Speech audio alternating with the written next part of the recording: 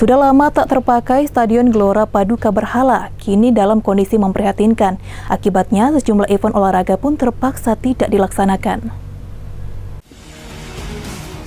Stadion Gelora Paduka Berhala merupakan stadion kebanggaan masyarakat Kabupaten Tanjung Jabung Timur yang terletak di Kelurahan Paripculum 1, Kecamatan Muara Sabak Barat.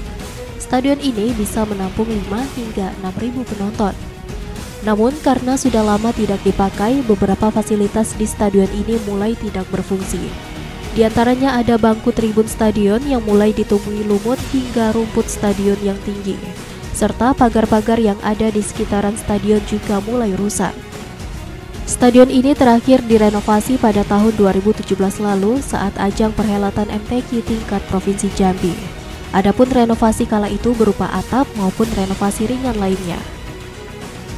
Di tahun 2022 mendatang, pihak KONI setempat telah mengajukan perbaikan sedang sebesar 200 juta rupiah kepada Disbud Parpora Kabupaten Tanjab Tim. Akibat rusaknya stadion serta dana perbaikan yang dialihkan guna penanganan COVID-19 ini, sejumlah event olahraga pun kerap ditunda perhelatannya. Salah satunya Bupati Cup yang terakhir dihelat pada tahun 2018 lalu.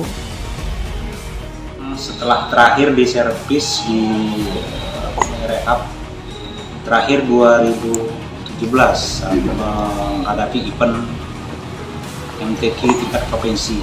Hmm. Setelah itu dari lagi tahap sampai sekarang. Nah, kemudian 2000 anggaran 2022 hmm. kami sudah mengajukan untuk rehab sedang.